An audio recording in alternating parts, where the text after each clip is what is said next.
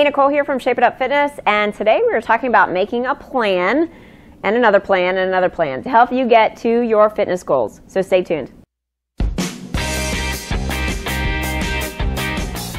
You know, there are some people that are waiting for the perfect moment to start a fitness program, and it's never going to happen. I got news for you. It's never going to be the perfect time. It's never going to be the perfect climate. There's never there's always going to be stuff going on.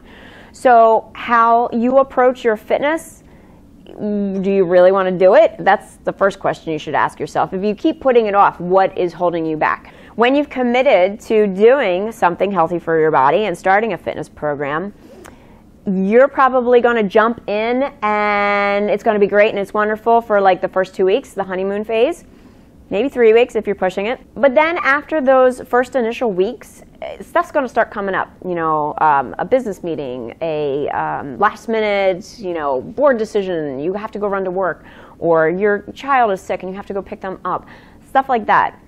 Or, you know, a death in the family. Things come up. This is life, right? You know, if we didn't have those things, then we wouldn't have life. So I always like to have a couple plans made in advance. So your plan A is your ideal situation. So that means you can work out at the time that you designated, you know, your food's on point, you can prep your foods or however you're managing your foods. That's your ideal situation is plan A.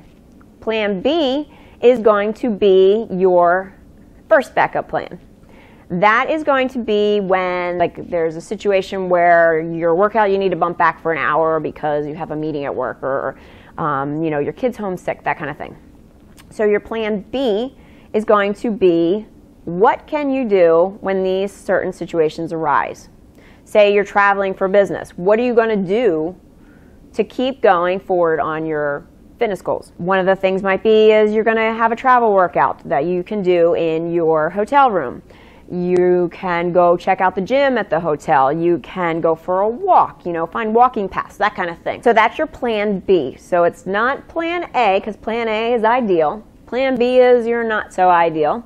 And then plan C is like the emergency situations in your life. There's a death in the family, you're sick, you know, you're going through divorce, you just lost your job, whatever big life changing moments that are going on that is a time when you're pretty much like in below maintenance mode. You are just like, okay, what is the minimum that I can do so I feel like I'm still creating momentum to get me to my fitness goals?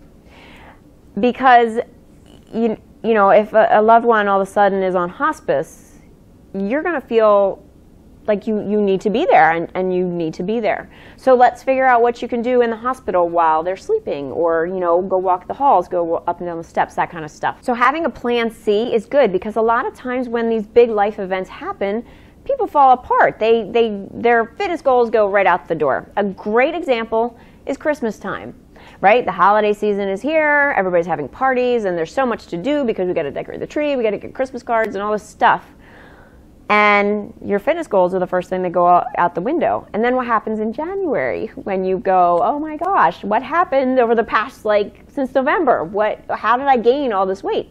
Well, it's because you didn't have a plan C in place or a plan B. Make sure you have your plan A, which is an ideal situation, your plan B, which is uh, not ideal but like little stuff coming up. Plan C is life-changing events and some of you may need a D or an E or an F plan. That's totally fine.